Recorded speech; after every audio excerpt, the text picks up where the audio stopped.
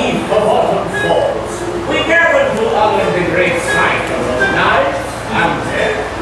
Come, um, every member of our clan, living, dead, and undecided, and let us celebrate what it means to be an artist. you're an island.